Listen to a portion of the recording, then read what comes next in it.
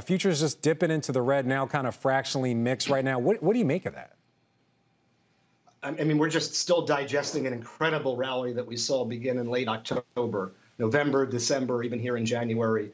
It's um, it's it's great to see it. You know, it's a it's a, a result of the Fed pivoting off of a rate hiking policy, but maybe we're a little bit ahead of our skis right now and it's going to be up to the economic data to determine whether this market's going to be able to push higher. Yeah, we're going to talk to you a little bit about earnings and economic data coming up. But first, I want to get your WEX word of the day. How do you see today shaping up?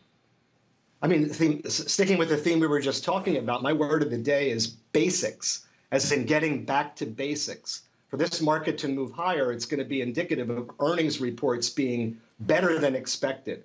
Not like last year where it was better than feared, and that was good enough we need to see earnings produce so that we can justify this market moving. We had a, a, first week last week where we saw 60 companies report, only 69 of them beat, and that's not good enough. So we're going to have 70 companies coming out this week. Look at those big names. They've got to deliver if we're going to expect to see this market continue. Yeah, we're showing the audience the audit, the uh, earnings wall right now. I know one earnings that you're paying a lot of attention to is Procter and Gamble coming up later today. Why is that so important? What do you think that's going to tell you?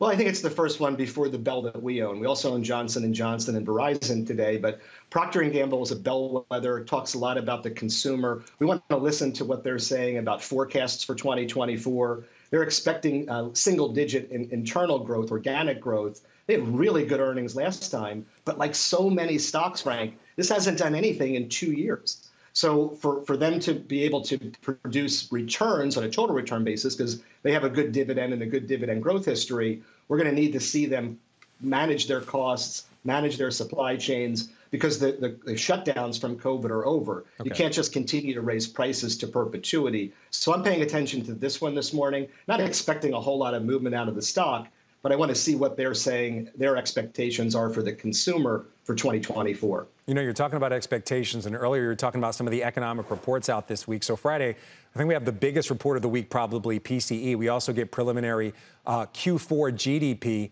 What do you think those reports mean to investors? Again, as we're, we're very close to all-time highs on the uh, record highs on the Dow and a 52-week high on the S&P.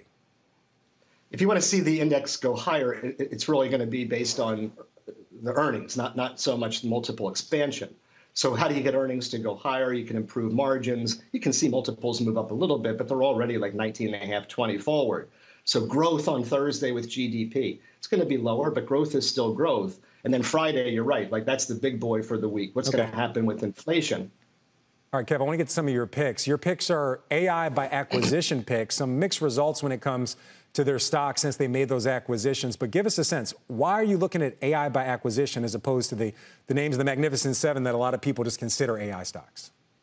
Yeah, sometimes the acquisitions take time to, to build the synergies, but if you missed a big seven trade, if that's not something you want to chase after, and for us, and you know, Frank, we invest in dividend paying companies. We want to get paid total return. These are three stocks, Cisco, IBM, and Broadcom, that over the past few years have made great acquisitions that will allow them to be participants in the AI trade while still having tons of free cash flow and returning that cash flow to shareholders. But every acquisition isn't built the same. The Broadcom VMware uh, merger, the, the, stock has been on a tear. You're showing IBM uh, quite the opposite. You know, they, they bought the Red Hat what 100 years ago, and everyone thought that was kind of a square a square peg and, and, and a round hole. But but it's it's not, and and, and this is not the, the old IBM that we remember. This is really a company now that, that can progress and turn the AI trade into a profitable part of the business.